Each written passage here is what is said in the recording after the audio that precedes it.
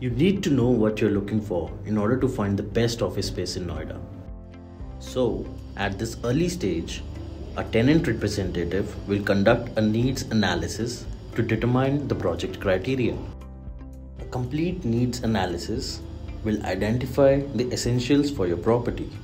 Additionally, it will develop the specification for things like number of employees to accommodate, appropriate square footage, optimal geography, necessary and additional amenities, price range, time frame, willingness to dedicate resources to build out, options to include parking, signage, etc.